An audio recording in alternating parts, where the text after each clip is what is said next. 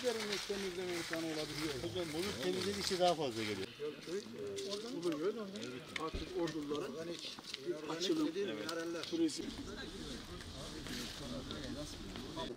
Öncelikle kıymetli Ali hocama ve hepinizin e, sanatör görev yapan bütün arkadaşlarımıza, yani üniversitemizin tamamına, burada olan ve olmayan bütün arkadaşlarıma, ilçem ve şahsım adına hoş geldiniz diyorum. Şeref verdiniz. Çok mutlu olduk.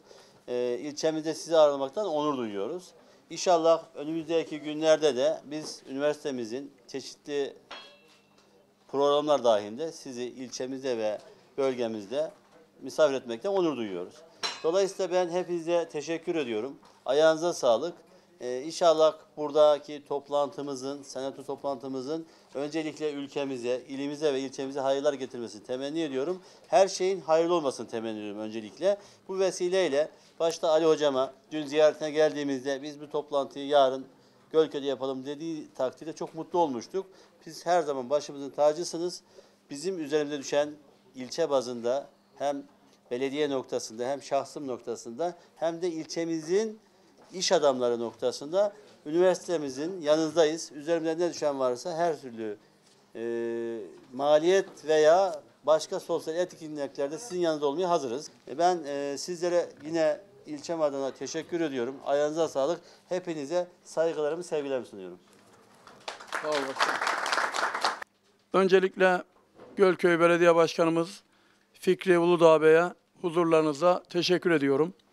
Gölköy'ümüze canla, başla, aşkla hizmet etmeye çalıştığından dolayı yaptığı bu hizmetlerden ekibiyle beraber teşekkür ediyoruz. Şimdi Başkan Bey de ifade etti.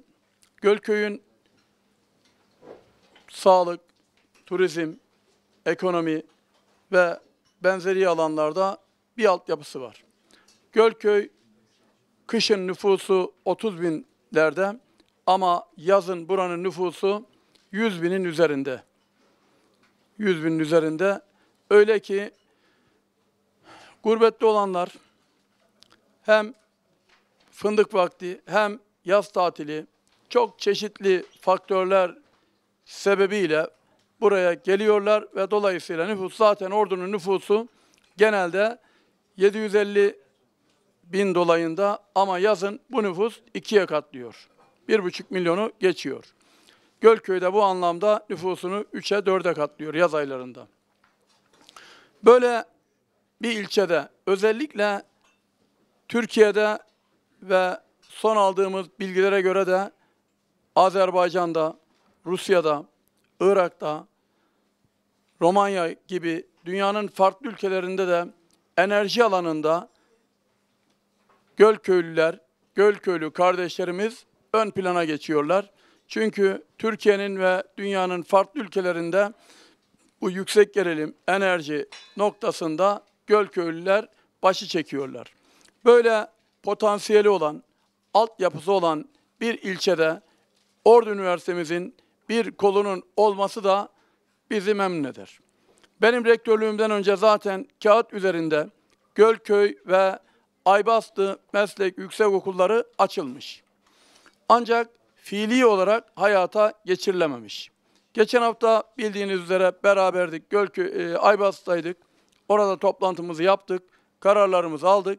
Bugün de burada inşallah Gölköy'ümüzle ilgili bu ilçeye uygun, bu ilçenin şartlarına uygun yaşayabilecek, buraya hizmet edebilecek, buraya katkı sağlayabilecek bölümlerin kararını alarak inşallah ki bu daha çok enerji ve iş güvenliği gibi e, ön plana çıkıyor. E, bu kararları da alarak Gölköy'ümüzde e, yüksek okulumuzun, meslek yüksek okulumuzun hayata geçmesi için elimizden geleni yapacağız. Ben şimdiden Gölköy'ümüze hizmet etmek, buralara üniversitenin katkısını, üniversitenin buralara dokunuşunu önemsiyorum.